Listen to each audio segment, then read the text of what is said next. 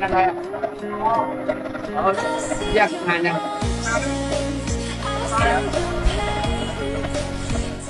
ออกไปตรวจราชการเป็นสายตรวจปรากฏว่าไปเจอเหตุการณ์คนป่วย ก็เลยรีบแว้นพาคนป่วยส่งโรงพยาบาลนะครับ ดูคลิปนี้กันหน่อยครับ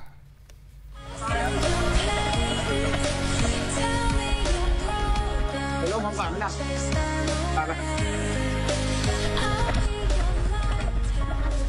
ปไปอะเดี๋ยวเดี๋ยวป้าอยู่นี่ก่อนก็ได้เดี๋ยว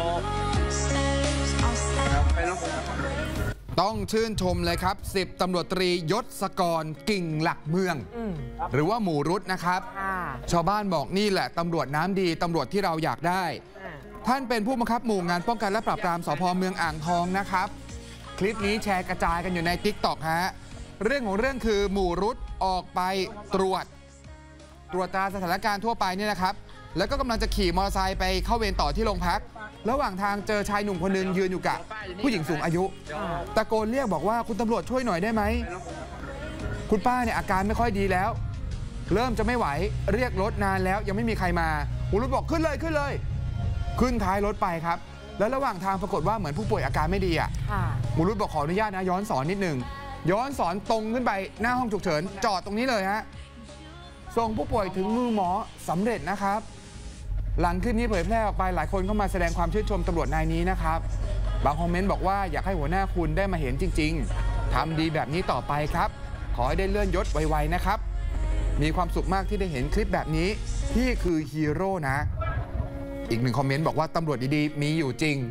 แม้จะน้อยก็ตาม เดี๋ยวนะตำรวจไม่ดีเป็นตำรวจไม่ได้นะคะเออ เนี่ยคนเราชอบพูดเนาะวงการเออตำรวจมีทั้งคนดีและคนไม่ดี เออ เดี๋ยวก่อนใจเย็นๆวงการตำรวจไม่ควรจะมีคนไม่ดีเนอะเออเอออยากให้เป็นแบบนั้นเนาะเออ ทีนี้ทีนี้ชาวเน็ตเขาบอกว่าเขาอยากเห็นหน้าหมูรุดเต็มๆรวมไปถึงว่าเอ้ยวีรกรรม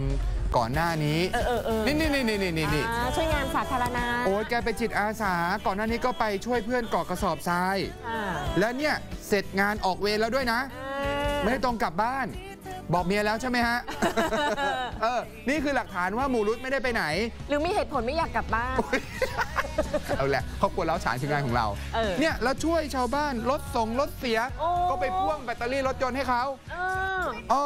ยังไม่หมด นี่โอ้ แกสายรักหมาทาสหมา อ่าชอบแวะให้อาหารน้องหมาน้องแมวจรจัด ข้างถนนนี่นอกเวลางานก็จะเห็นภาพบรรยากาศแบบนี้หมู่รุตขยันจริงอ่าๆอาย้ำชื่ออีกที10ตำรวจตรียศกรกิ่งหลักเมืองนะครับผู้บังคับหมู่ป้องกันและปราบปรามสภเมืองอ่างทองฮะจริง ๆ ยุคนี้หลายคนบอกอู้ทำดีทำไมต้องถ่ายทำคอนเทนต์หรือเปล่า ถ้าทำคอนเทนต์ก็ทำเถอะทำเถอะทำเถอะจริง ๆทำดีอะโปรโมทไปเถอะในยุคนี้พอสอนนี้เนาะลงติ๊กต็อกลงโซเชียลลงอะไรก็ได้ อย่างน้อยให้เรารู้สึกสบายใจครับกับหน้าที่ของตำรวจอะใช่